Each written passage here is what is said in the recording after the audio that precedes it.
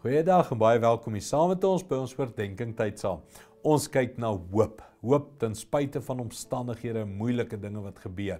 Hoe kan ek jy deur die Heilige Gees krag kry en hoop kry?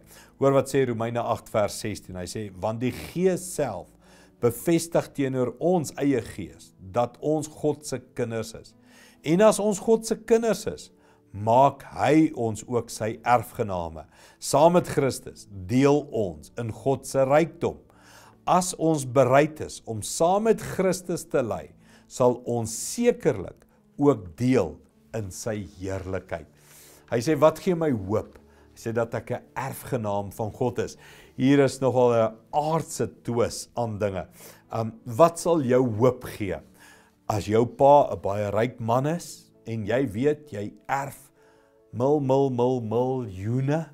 Ek bedoel dit gee jou hoop en sê ja, nou kry ons bietjie swaar, ek en my vrou sukkel, ek en die kinders is nou nie alles nie, maar weet jy wat?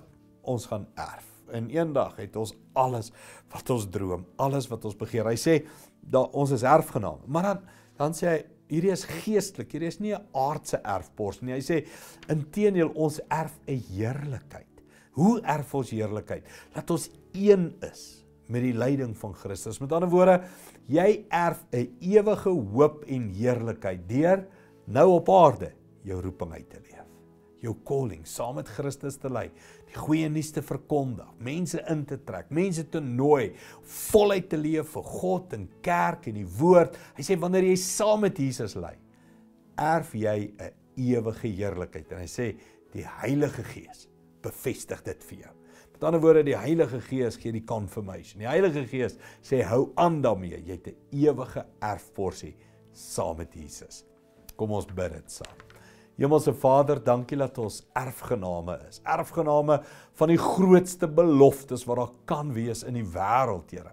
Maar die belangrikste erfgename is 'n ewige erfgenaam van heerlikheid, van 'n posisie in Christus vir ewig in die hemel saam met U.